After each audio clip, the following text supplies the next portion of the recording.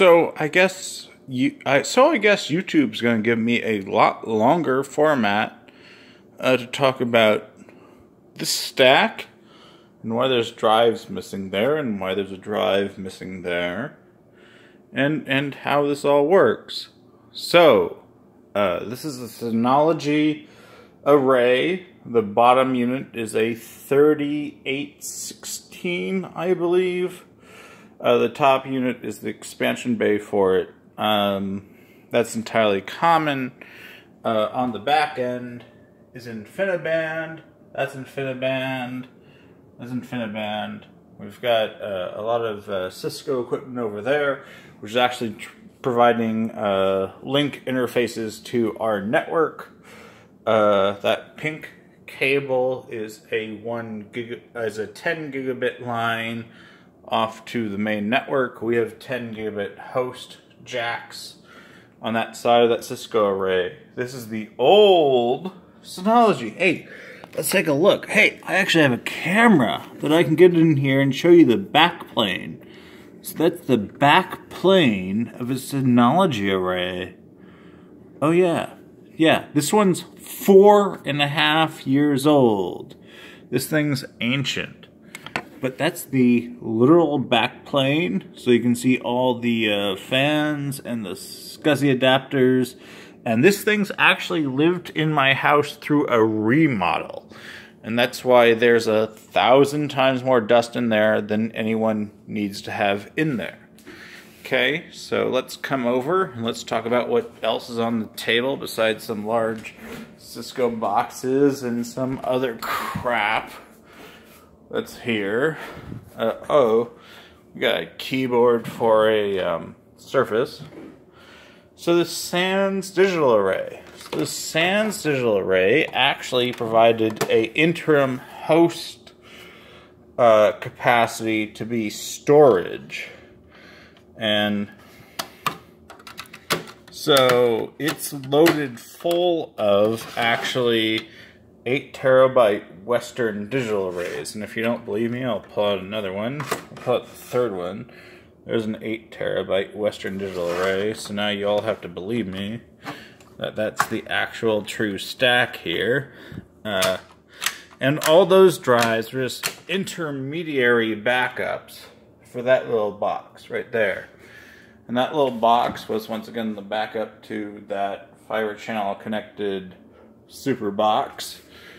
Uh, that will change and it will drive us from having 64 tera of on-site local storage to having um, 160 terabytes. 160 terabytes of on-site local storage. Oh, blink. Come on. Come on, lights. Blink. Land lights, blink. Okay, well, they don't want to blink, but hard drive, hard drive lights. Anyways, so that that's that's what we're doing. Um, we're moving from that box over this box, and this array, and uh, why? And why is is the question that everyone asks. Well, cameras like this uh, brand new Nikon that I can't actually talk about too much um, is uh, shooting in 4K. And we're shooting in 4K 30, 4K 60 with these cameras. And they take a lot of fucking bits to uh, to archive. And uh, out of Synology, if any of you have ever dealt with having someone send you data, you know, across Dropbox or across something stupid like Google Drive or any of that crap, you know that you know they're going to run out of Dropbox storage or they're going to run out of uh, Google Drive storage instantly when they're trying to send you. In, in these cameras, we we run uh, 256 gigabyte cards and two of them and and mostly we do a mirrored storage but in some of the times we're actually running terabyte hard drives off a lot of this equipment and we actually run physical terabyte hard drives, kind of like that, but not like that because that's a piece of shit. Do not buy that. That's a dead drive. Um, and so every day that I'm on set and every day that I'm shooting something, we're pretty much taking in roughly somewhere between one terabyte to seven terabytes of data.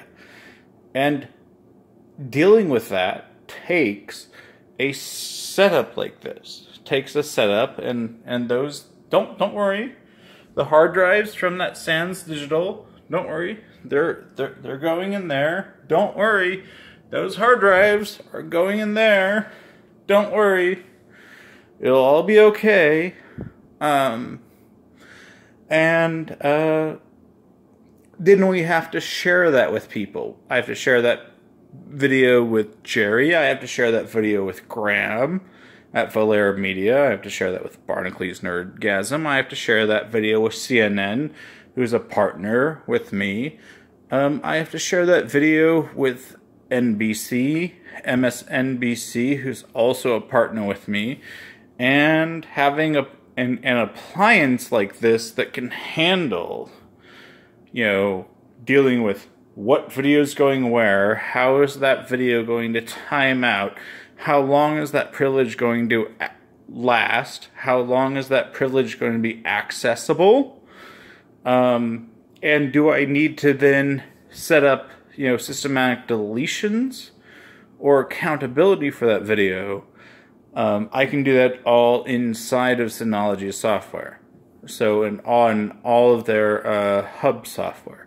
So that's that's why we use Synologies like a religion around here, and uh, you know, I mean, uh, Graham over at Valera Media, Jerry over at Barnacules Nerdgasm, and me, Kevlar Condom. We all use Synology drives to uh,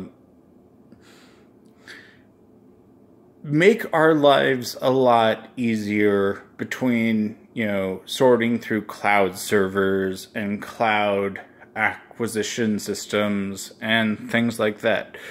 You know, if we truly need to, I can actually give you FTP access to this box. If I need to, I can give you SSL connections to this box. If I need to uh, have someone who truly knew something of what they were really doing um, they could be very, very privileged and given access to this box because they were trusted. You can't do that with Google Drive. You can't do that with Dropbox. You can't do that with anything. You know, and Synology gives us that opportunity. So, oh, and there's some custom Han Solo artwork that's going to a friend of mine. Um, Animus Mors, also known as Mike. You'll you'll you'll hear a lot of talk when we get around PDX land and crap like that about Mike, because I fly his ass up here just just to deal with uh, him personally. But he, he he's he's an offline character. But that that that's what we do. Um, that's why my dining room table looks like a hodgepodge of. Uh, of of Miss Toys and uh, good night YouTube and good night Internet and uh, have a good one.